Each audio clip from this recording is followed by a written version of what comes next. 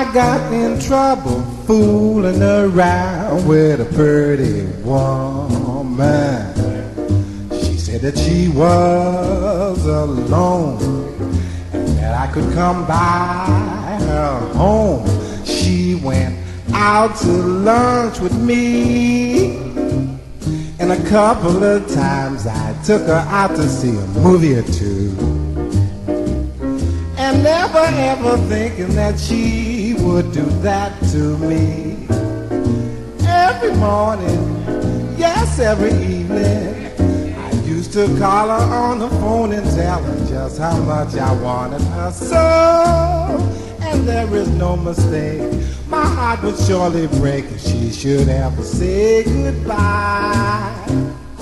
My, why?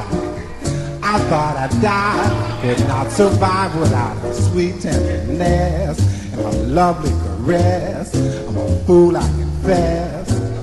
I'm telling you that she just left one evening. Didn't even say she's leaving. I went by her house to take her to a dance and we were going to have a steak, but when I knocked upon the door, there wasn't no answer. Lord, in the morning, don't you know? I'd never even thought that while standing around and waiting, she was halfway out of town. I figured maybe she had gone out to the store to get a couple of things she needed because she knew I'd wait around.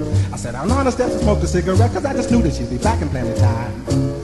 The first thing I knew, an hour, then two, and then three went by. All my cigarettes were gone and I was wondering to myself, what in the world has happened? When the lady from next door came up to me and said, I know you're the fellow that's been coming around. I don't know how this is gonna sound, but Virginia's out of town and she told me to tell you that she won't be back and she has gone off with her lover to get married. Why in the world did she do it? I could have did oh so much for her.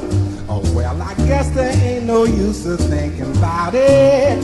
I got myself a new gal and she swear that she's mine.